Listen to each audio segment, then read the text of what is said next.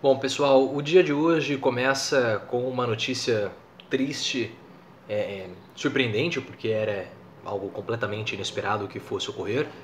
Mas o ex-secretário-geral da Presidência da República, ministro Gustavo Bebiano, faleceu na madrugada de ontem para hoje, na cidade de Teresópolis, no estado do Rio de Janeiro. Bebiano tinha apenas 56 anos e ganhou muita notoriedade nos últimos anos por conta do seu envolvimento com o presidente Jair Bolsonaro, de quem foi braço direito, articulou e participou de toda a estratégia da campanha de Jair Bolsonaro, esteve junto com Bolsonaro quando o presidente foi esfaqueado na cidade de Juiz de Fora, no interior de Minas Gerais, próximo até mesmo ali do Rio de Janeiro. E nós tivemos a informação que Bebiano acabou falecendo nessa madrugada por volta das 4 horas da manhã. Já gostaria de mandar as minhas condolências para a família, todos os meus sentimentos, porque o Bebiano tinha apenas 56 anos, era muito jovem, possivelmente ninguém esperava que isso pudesse acontecer, então é uma, é morte bem chocante, né? Porque a pessoa simplesmente passa o dia inteiro bem e no final, durante a madrugada, acaba passando mal, é levado às pressas ao hospital, mas não conseguiu ser é, reanimado. Então, todas as minhas condolências aos, aos familiares, que eles possam encontrar conforto uns aos outros, uns nos outros, para que eles possam superar esse momento, que é um momento bastante triste, um momento muito difícil. Como eu falei, Bebiano era alguém que tinha apenas 56 anos. O que acabou acontecendo? Notícias, né, que foram reveladas pela imprensa. Bebiano, por volta ali da, nessa madrugada, passou mal e foi levado a um hospital. E no hospital ele não conseguiu é, resistir, teve um infarto fulminante e acabou falecendo. Bebiano, ele, como eu falei, falando um pouco da trajetória é, política de Bebiano, ele surgiu em 2018 como um braço direito de Bolsonaro e depois, com a eleição de Bolsonaro, Bebiano começou a ruir a sua relação com o presidente muito por conta da presença do filho do Carlos do filho do, do Jair Bolsonaro, o Carlos Bolsonaro, o Carluxo. O que aconteceu? Bebiano era visto por Carlos Bolsonaro como alguém que poderia se atrapalhar, alguém que poderia roubar o posto de Carlos como sendo filho do presidente. O Carlos ele não lida muito bem com essas figuras que podem, que tentam né, se aproximar de Bolsonaro.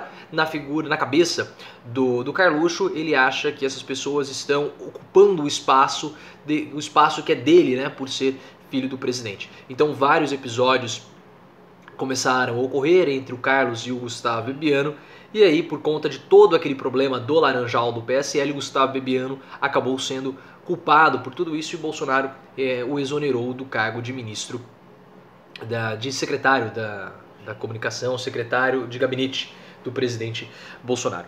É. Em seguida, Bebiano acabou saindo do governo, ele começou a disparar algumas críticas a Bolsonaro e recentemente se filiou ao PSDB para poder disputar as eleições municipais no estado do Rio de Janeiro.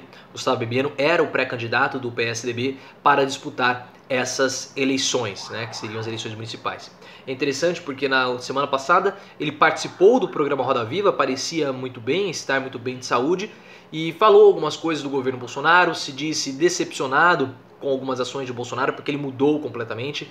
Falou sobre o Carlos Bolsonaro, eu até fiz um vídeo comentando sobre isso, no qual ele insinuou que a culpa da facada de Bolsonaro tinha sido de Carluxo, porque eles quebraram alguns protocolos de segurança que estavam estabelecidos. O Carluxo não permitiu que o Bebiano e outras pessoas fossem juntamente com Bolsonaro no carro, né, que os levou para aquela caminhada que acabou sendo que acabou culminando com a facada.